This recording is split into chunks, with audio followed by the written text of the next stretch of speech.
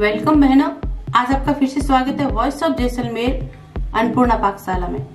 तो आज मैं बनाने जा रही हूँ बहुत ही हेल्दी दलिया। तो हेल्दी दलिया बनाने के लिए हमने लिया है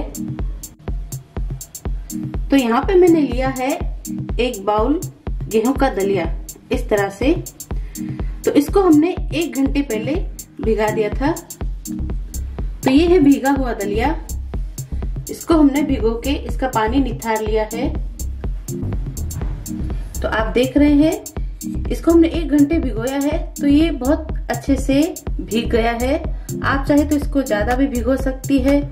आपको जल्दी बनाना है तो इसको रात को भिगो के रख सकते हैं। तो ये एक ही सीटी में बन जाता है। तो अब हम इसमें डालेंगे जो मैं आपको बता रही हूँ।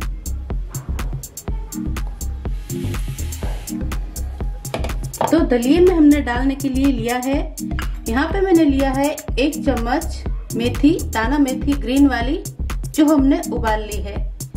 एक टमाटर जो हमने बारीक काट लिया है, दो हरी मिर्च, वो भी हमने बारीक काट ली है। एक प्याज, वो हमने रफली चॉप कर लिया है। एक इंच अदरक का टुकड़ा, वो हमने किस लिया है। थोड़ी सी पत्ता गोभी थोड़ी सी गाजर और आधी शिमला मिर्च। और थोड़ी सी पान मेथी। तो यहाँ पे हमने एक कुकर रखा है गर्म होने के लिए। इसमें हम एक चम्मच घी डाल देंगे।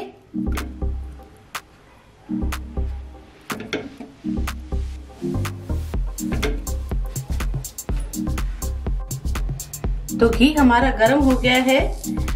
इसमें हम एक चम्मच राई डाल देंगे।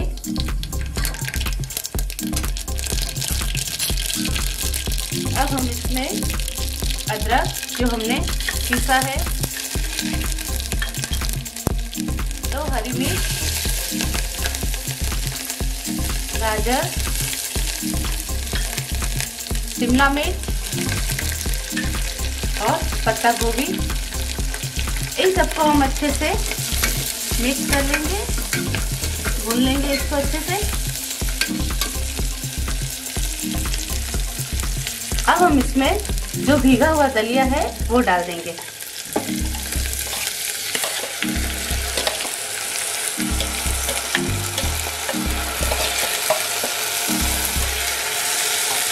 इसको हम अच्छे से भून लेंगे।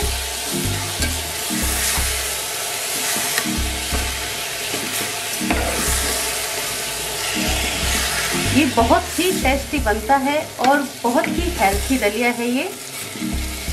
और भीगने से ये बहुत जल्दी बन जाता है। अब हम इसमें जो दलिया, एक बाउल हमने ये वाला दलिया लिया था, वही हम तीन बाउल पानी डाल देंगे इसमें।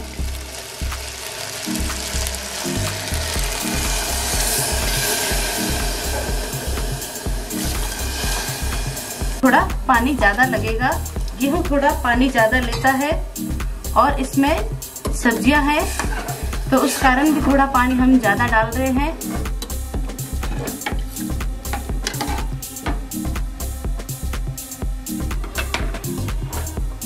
अब हम आधा छोटा चम्मच इसमें हींग डाल देंगे। और स्वाद अनुसार नमक। और इसको उबाल आने पर हम इसको ढक्कन दे देंगे। तो करीबन इसमें हम एक सीटी लगाएँगे, क्योंकि ये भीगा हुआ है।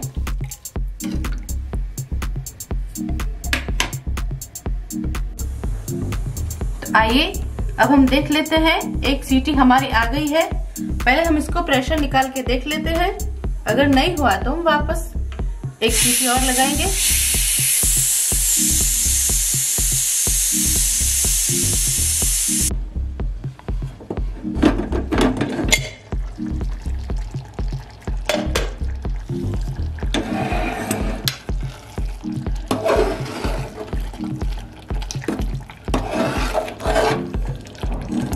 तो हम देख लेते हैं। दलिया हमारा बहुत ही अच्छे से एक ही सीटी में उबल गया है, बहुत अच्छा से, क्योंकि हमने इसको भिगा के रखा था, इसलिए ये जल्दी हो जाता है। अब हम इसमें जो उबली हुई मेथी है, वो हमने बताई, हरी मेथी, दाना मेथी, वो हम इसमें डाल देंगे। टमाटर, प्याज, और इसको अच्छे से मिक्स कर लेंगे।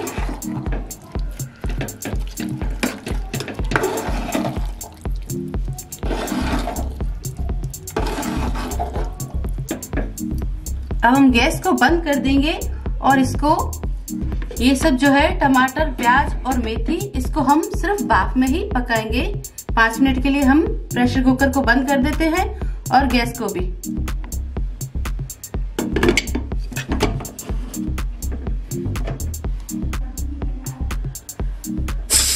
तो अब हम देख लेते हैं इसको।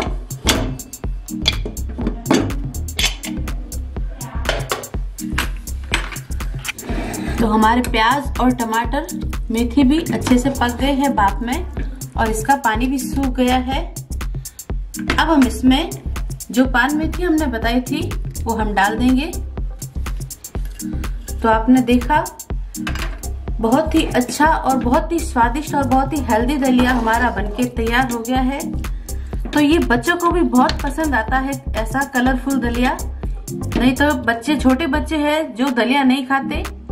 हम बड़े भी बोर हो जाते हैं दलिया खाते खाते। तो अगर आप इस तरह से बनाएँगे तो हमारा दलिया बहुत ही अच्छा और स्वादिष्ट बनेगा और इसको बच्चे भी बहुत ही अच्छे से खाएँगे। तो ऐसी और भी रेसिपीज़ देखने के लिए आप सब्सक्राइब कीजिए वॉइस ऑफ़ जैसलमेर धन्यवाद।